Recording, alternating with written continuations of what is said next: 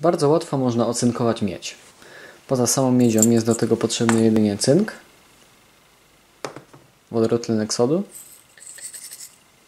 W roli elektrolitu, a także coś, co pozwoli oczyścić miedź z wszelkich osadów, w tym wypadku kwas solny. Pierwszym krokiem jest sporządzenie stężonego roztworu wodorotlenku sodu. I tu muszę Was wszystkich ostrzec, jest to substancja bardzo żrąca, więc należy postępować z wielką ostrożnością przy obchodzeniu się z nią, a najlepiej w ogóle nie róbcie tego w domu.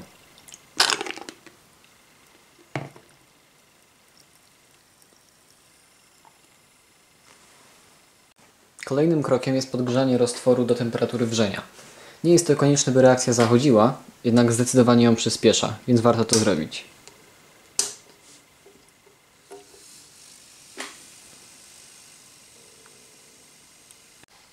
W trakcie, gdy roztwór się grzeje, możemy oczyścić miedź. Mam tutaj trzy miedziane druciki. Jeden z nich jednak posłuży jako porównanie. Zalewam więc dwa z nich kwasem solnym. Pozwala on na usunięcie wierzchnej warstwy tlenku miedzi i patyny, która choć mało widoczna, może zapobiec reakcji. Różnice nie są znaczne, ale miedź, która kąpie się w kwasie, robi się nieco bardziej różowa. Gdy nasz wodorotlenek gotuje się już intensywnie, należy wsypać do niego cynk.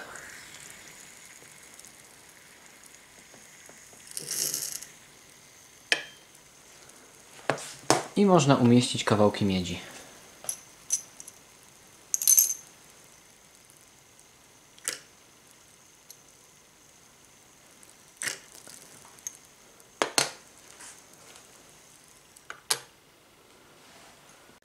Nie ma znaczenia w jakiej formie jest użyty cynk. Ja mam granulat, ale można równie dobrze użyć całych kawałków blaszki albo pyłu cynkowego. Znaczenie ma jedynie to, by miedź stykała się bezpośrednio z cynkiem. Tworzą one wtedy ogniwo galwaniczne i warstwa cynku przechodzi z roztworu i osiada na miedzi. Cała reakcja zachodzi zgodnie z tym schematem.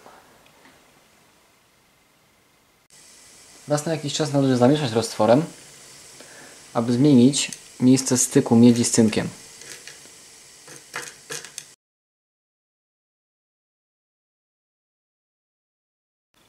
Po pewnym czasie miedź pokrywa się warstwą cynku, a reakcja praktycznie ustaje. Jest to znak, że można ją wyciągnąć z roztworu.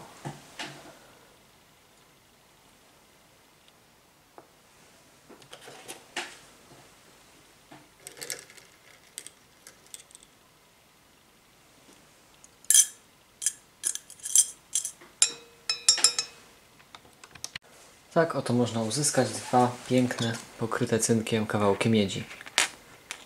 Ale to jeszcze nie wszystko.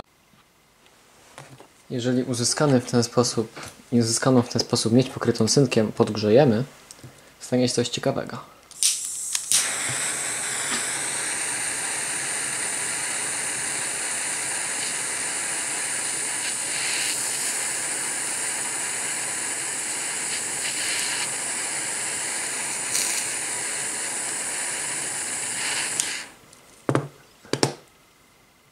Zyskuje ona piękny złoty kolor. Dzieje się tak dlatego, że cynk wchodzi w sieć krystaliczną miedzi pod wpływem podgrzania, tym samym tworząc na powierzchni miedzi cienką warstwę mosiądzu, który ma taki oto właśnie złoty kolor. To wszystko. Dziękuję za uwagę.